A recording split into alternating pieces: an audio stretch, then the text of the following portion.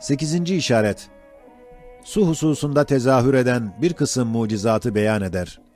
Mukaddime. Malumdur ki, cemaatler içinde vuku bulan hadiseler, ahadi bir surette nakledilse, tekzip edilmediği vakit, doğruluğunu gösterir. Çünkü, insanın fıtratında yalana yalandır demeye cibilli bir meyil vardır. Hususan, her kavimden ziyade yalana karşı sükut etmez sahabeler olsa, hususan hadiseler, Resul-i Ekrem aleyhissalatu vesselama taalluk etse ve bilhassa nakleden meşahiri sahabeden olsa, elbette o haberi vahid sahibi, o hadiseyi gören cemaati temsil eder hükmünde rivayet eder. Halbuki şimdi bahsedeceğimiz mucizat-ı maiyeyi, her bir misali çok tariklerle, çok sahabelerin ellerinden, binler tabiinin muhakkikleri el atıp almışlar, sağlam olarak ikinci asır müştehitlerinin ellerine vermişler. Onlar da kemali ciddiyetle ve hürmetle el atıp, kabul edip, arkalarındaki asrın muhakkiklerinin ellerine vermişler. Her tabaka binler kuvvetli ellerden geçip, gele gele ta asrımıza gelmiş. Hem asr-ı saadette yazılan kütüb-ü ehadisiye sağlam olarak devredilip, ta Buhari ve Müslim gibi ilmi hadisin dahi imamlarının eline geçmiş. Onlar da kemali tahkik ile meratibini tefrik ederek, sıhhati şüphesiz olanları cem ederek bize ders vermişler, takdim etmişler. Cezahumullahu hayran ketira. İşte Resul Ekrem Aleyhissalatu vesselam'ın mübarek parmaklarından suyun akması ve pek çok adama içirmesi mütevatirdir. Öyle bir cemaat nakletmiş ki yalana ittifakları muhaldir. Şu mucize gayet kat'idir. Hem üç defa, üç mecma azimde tekerrür etmiş. Başta Buhari, Müslim, İmam-ı Malik, İmam-ı Şuayb, İmam-ı Katade gibi pek çok ehli sahih bir cemaat, sahabelerden, başta Hadim-i Nebevi Hazreti Enes, Hazreti Cabir, Hazreti İbni Mesud gibi meşahiri sahabenin bir cemaatinden parmaklarından suyun kesretle akması ve orduya içirmesi nakli sahih kat'i ile beyan edilmiştir. Bu nevi mucize-i maiyeden pek çok misallerinden dokuz misali beyan edeceğiz. Birinci misal, başta Buhari, Müslim, Kütüb-ü Sahiha, Hazreti Enes'ten nakli sahih ile haber veriyorlar ki, Hazreti Enes diyor, Zevra nam mahalde 300 kişi kadar Resul-i Ekrem aleyhissalatu vesselam ile beraberdik. İkindi namazı için abdest almayı emretti. Su bulunmadı. Yalnız bir parça su emretti, getirdik. Mübarek ellerini içine batırdı. Gördüm ki parmaklarından çeşme gibi su akıyor. Sonra bütün maiyetindeki 300 adam geldiler, umumu abdest alıp içtiler. İşte şu misali Hazreti Enes 300 kişiyi temsil ederek haber veriyor. Mümkün müdür ki o 300 kişi şu habere manen iştirak etmesinler, hem iştirak etmedikleri halde tekzip etmesinler. İkinci misal, başta Buhari, Müslim, Kütüb-ü Sahiha haber veriyorlar ki, Hazreti Cabir İbni Abdullah el Ensari beyan ediyor. Biz 1500 kişi Gazve-i Hudeybiye'de susadık. Resul Ekrem Aleyhissalatu vesselam kırba denilen deriden bir kap sudan abdest aldı. Sonra elini içine soktu. Gördüm ki parmaklarından çeşme gibi su akıyor. 1500 kişi içip kaplarını o kırbadan doldurdular. Salim İbni Ebil Cad Cabir'den sormuş. Kaç kişiydiniz? Cabir demiş ki, yüz bin kişi de olsaydı yine kafi gelirdi. Fakat biz 1500 yani 1500 idik. İşte şu mucize-i bahirenin ravileri manen 1500 kadardırlar. Çünkü fıtratı beşeriyede yalana yalan demek bir meyle arzusu vardır.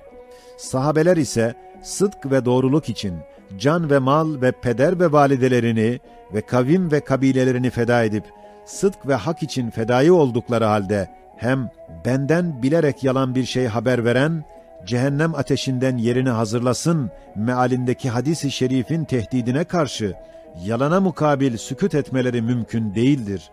Madem sükut ettiler, o haberi kabul ettiler, manen iştirak edip tasdik ediyorlar demektir. Üçüncü misal, Gazve-i Buvat'ta yine Buhari, Müslim başta Kütüb-ü Sahiha beyan ediyorlar ki, Hazreti Cabir dedi ki, Resul Ekrem Aleyhissalatu vesselam ferman etti. Nadi bil vudu. Abdest almak için nida et dediler. Su yok denildi. Resul Ekrem Aleyhissalatu vesselam dedi. Bir parça su bulunuz. Gayet az su getirdik. Sonra o az su üstüne elini kapadı, bir şeyler okudu. Bilmedim neydi. Sonra ferman etti. Ridna bi cefnetir rakbi. Yani kafilenin büyük teştini, teknesini getir. Bana getirildi. Ben de Resul Ekrem Aleyhissalatu vesselam'ın önüne koydum. O da elini içine koydu, parmaklarını açtı. Ben de o az suyu mübarek eli üzerine döküyordum. Gördüm ki mübarek parmaklarından kesretle su aktı. Sonra teşt doldu, suya muhtaç olanları çağırdım. Bütün geldiler o sudan abdest alıp içtiler. Ben dedim, daha kimse kalmadı. Elini kaldırdı, o cefne yani tekne lebalep dolu kaldı. İşte şu mucize-i bahire-i Ahmediye aleyhissalatu vesselam manen mütevatirdir. Çünkü Hazreti Cabir o işte başta olduğu için birinci söz onun hakkıdır. O, umumun namına ilan ediyor. Çünkü o vakit hizmet eden o zat idi. İlan başta onun hakkıdır. İbn Mesud da aynen rivayetinde diyor ki, ben gördüm ki Resul Ekrem Aleyhissalatu vesselam'ın parmaklarından çeşme gibi su akıyor. Acaba meşahiri sıddıkini sahabeden olan Enes, Cabir, İbn Mesud gibi bir cemaat dese ben gördüm, görmemesi mümkün müdür? Şimdi şu üç misali birleştir, ne kadar kuvvetli bir mucize-i bahire olduğunu gör ve şu üç tarik birleşse, hakiki tevatür hükmünde parmaklarından su akmasını kat'i ispat eder. Hazreti Musa aleyhisselamın taştan 12 yerde çeşme gibi su akıtması, Resul-i Ekrem aleyhissalatu vesselamın on parmağından on musluk suyun akmasının derecesine çıkamaz. Çünkü taştan su akması mümkündür. Adiyat içinde naziri bulunur. Fakat et ve kemikten abı kevser gibi suyun kesretle akmasının naziri adiyat içinde yoktur. Dördüncü misal. Başta İmam-ı Malik, Muvatta kitab-ı muteberinde Muaz İbni Cebel gibi meşahir sahabeden haber veriyor ki, Hazreti Muaz İbni Cebel dedi ki, Gazve-i Tebük'te bir çeşmeye rast geldik. Sicim kalınlığında güç ile akıyordu. Resul Ekrem Aleyhissalatu vesselam emretti ki bir parça o suyu toplayınız. Avuçlarında bir parça topladılar. Resul Ekrem Aleyhissalatu vesselam onunla elini yüzünü yıkadı, suyu çeşmeye koyduk. Birden çeşmenin menfezi açılıp kesretle aktı. Bütün orduya kafi geldi.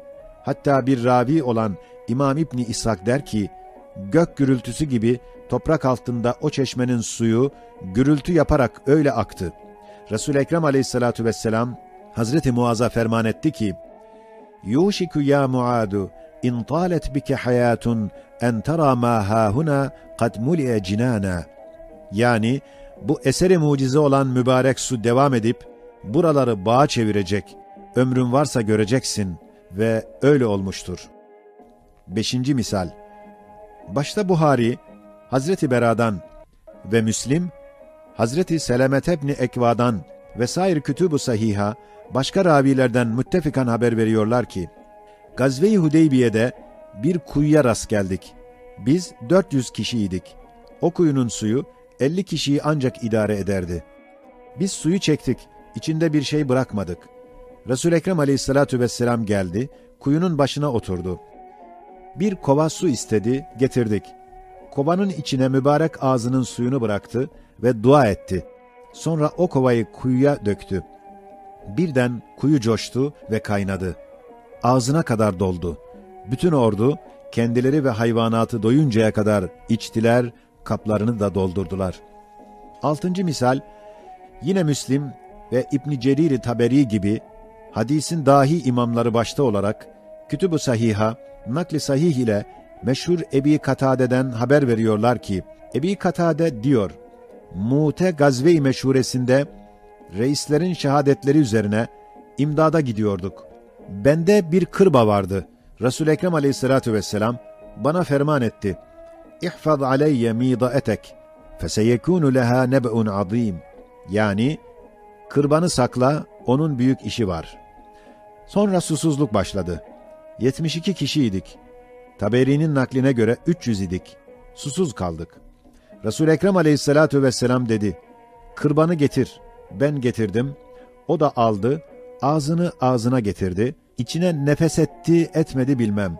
Sonra 72 kişi geldiler, içtiler, kaplarını doldurdular. Sonra ben aldım, verdiğim gibi kalmıştı. İşte şu mucize-i bahire-i Ahmediye'yi aleyhissalatu vesselam gör. Allahümme salli ve sellim aleyhi ve ala alihi bi'adedi kataratil ma de. Yedinci misal. Başta Buhari ve Müslim olarak Kütüb-ü Sahiha Hazreti İmran İbni Husayn'dan haber veriyorlar ki İmran der bir seferde Resul Ekrem Aleyhissalatu vesselam ile beraber susuz kaldık. Bana ve Ali'ye ferman etti ki filan mevkide bir kadın iki kırba suyu hayvana yükletmiş gidiyor. Alıp buraya getiriniz. Ben ve Ali beraber gittik. Aynı yerde kadını su yüküyle bulduk getirdik. Sonra emretti. Bir kaba bir parça su boşaltınız. Boşalttık. Bereketle dua etti. Sonra yine suyu o hayvandaki kırbaya koyduk. Ferman etti ki, herkes gelsin kabını doldursun. Bütün kafile geldi, kaplarını doldurdular, içtiler. Sonra ferman etti, kadına bir şeyler toplayınız. Kadının eteğini doldurdular. İmran diyor ki, ben tahayyül ediyordum ki, gittikçe iki kırba doluyor, daha ziyadeleşiyor. resul Ekrem aleyhissalatu vesselam o kadına ferman etti ki, İzhebi fe inna lem ne'hud min ma'iki şey'en velakinnallâhe sekâna. Yani senin suyundan almadık. Belki Cenab-ı Hak bize hazinesinden su içirdi. Sekizinci misal. Başta meşhur İbni Hazm sahihinde, raviler Hazreti Ömer'den naklediyorlar ki, Gazve-i Tebük'te susuz kaldık. Hatta bazılar devesini keser, susuzluktan içini sıkar içerdi. Ebu Bekir Sıddık, resul Ekrem aleyhissalatu vesselama dua etmek için rica etti. Resul Ekrem aleyhissalatu vesselam elini kaldırdı. Daha elini indirmeden bulut toplandı. Yağmur öyle geldi ki kaplarımızı doldurduk. Sonra su çekildi. Ordumuza mahsus olarak hududumuzu tecavüz etmedi. Demek tesadüf içine karışmamış, sırf bir mucize-i Ahmediye aleyhissalatu vesselam'dır. Dokuzuncu misal, meşhur Abdullah İbni Amr İbnil As'ın hafidi ve dört imamın ona itimat edip ve ondan tahrici hadis ettikleri Amr İbni Şuayb'dan nakli sahih ile haber veriyorlar ki, demiş, nübüvvetten evvel resul Ekrem aleyhissalatu vesselam, amucası Ebu Talib ile deveye binip, Arafa civarında Zilmecaz nam mevkiye geldikleri vakit, Ebu Talip demiş, ben susadım. resul Ekrem aleyhissalatu vesselam inmiş, yere ayağını vurmuş, su çıkmış. Ebu Talip içmiştir. Muhakkikinden birisi demiş ki, şu hadise nübüvvetten evvel olduğundan, İrhasat kabilinden olmakla beraber, bin sene sonra aynı yerde Arafat çeşmesi çıkması, o hadiseye binaen bir keramet-i Ahmediye aleyhissalatu vesselam sayılabilir.